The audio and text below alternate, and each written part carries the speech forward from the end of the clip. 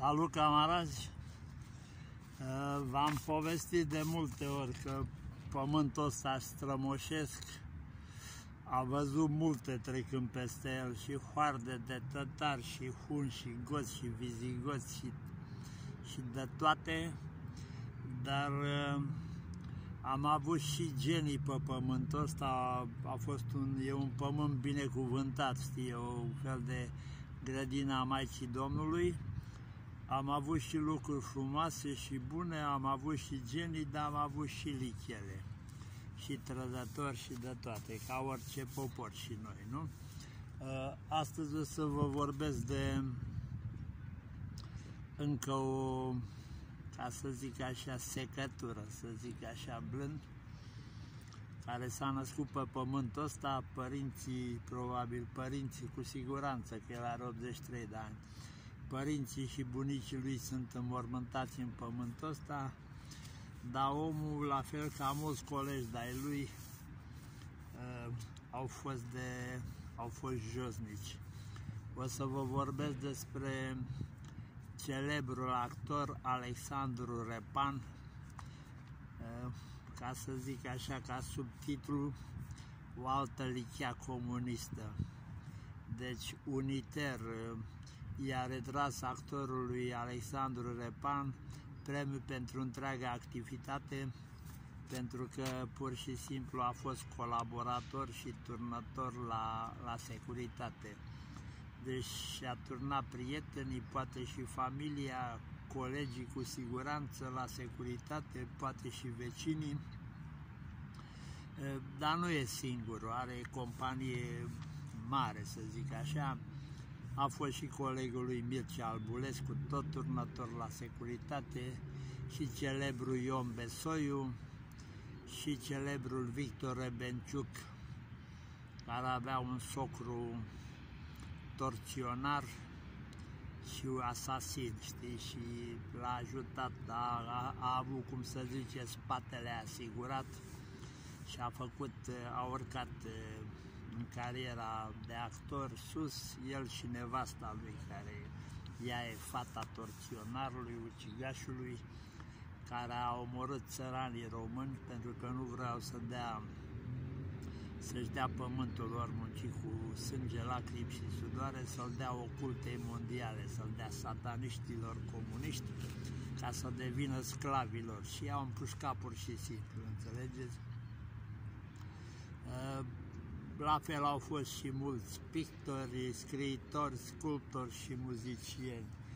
Deci nimeni nu-i obliga, nu le punea cuțitul la gât. Bineînțeles că puteau avea neplăceri la servici, dar oamenii au ales să colaboreze, să toarne. Deci pentru mine sunt niște javre, niște lichele, niște canalii comunisma, comunismul făcut de,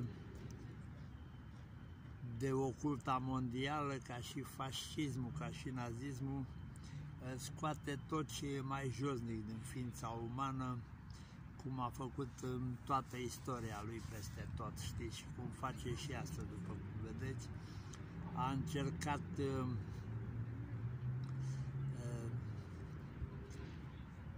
Uniter i-a reproșat că a încălcat valorile după care se conduce Uniter, adică respectul pentru drepturile omului și solidaritatea de brează. Vă dați seama, terminau spectacolul la 10 jumate, 11 jumate noaptea, după aia toți precum colegii și actrițele și actorii se duceau, eu știu, la Capșa, la Atene Palace, eu știu pe unde să, să bea o bere, să stea de, de vorbă, să se felicite că a ieșit spectacolul bine. Dar Iuda era între ei, deci bea cu ei, să pupa cu ei, spunea bancuri cu ei și după aia se ducea și făcea raportul la securitate a doua zi, că omul la beție mai, mai zice și ce nu trebuie, știți? Așa, mai ales dacă în subconștient e, e contra sistemului, atunci la beție mai scapă o vorbă două și Alexandru Repan se duce a doua zi și dătea raportul la securiști. Vă dați seama, e, e un individ care are 83 de ani acum, a fost toată viața artist la Teatru Notara, a jucat în peste 70 de roluri de teatru și 50 de roluri de film. În 2002 a fost decorat cu Ordinul Național, eh, serviciu credincios în grad de cavaler. Dar el nu era cavaler, era un jalnic turnător, știți, așa, n-avea nimic cavalerismul tatălui era profesor, mama lui era o femeie, era o casnică, știi, deci măcar de la tasul trebuia să aibă un pic de bun simț ca profesor, că altfel nu poți să fii să, să scoți generații întregi de copii de pe băncile școlii sau facultății dacă nu, nu înveți bunul simț, manierele, să fie corect, să fie cinstiți. Comunismul creat și impus de, de cu tancurile de oculta mondială în România și în țările Europei Estice și prin toată lumea, Asia, America Centrală, unde a fost Cuba, a fost o catastrofă și, și la scară mondială, peste tot unde a fost comunismul, în Rusia, în China, în Vietnam, în Corea, în Cuba, România, Polonia, Ungaria, Uh, au făcut numai catastrofe, numai crime, numai genocide, numai orori. Dar scopul lui principal a fost ca și acum nimicirea populației și diminuarea ei. Înțelegeți? Comuniștii au omorât pe glob 220 de milioane de oameni nevinovați, copii, femei și bărbați, cam unul din 34 de locuitori ai planetei au fost fenomene groaznice, cum a fost fenomenul Pitești la noi, o tortură bestială, unde deținuții își torturau proprii colegi de cameră și la rândul lor și ei erau torturați de alții, deci era ceva jalnic. Uh, masacru a jumătate din populația Cambodgiei, deci din 4 milioane au fost masacrați bestial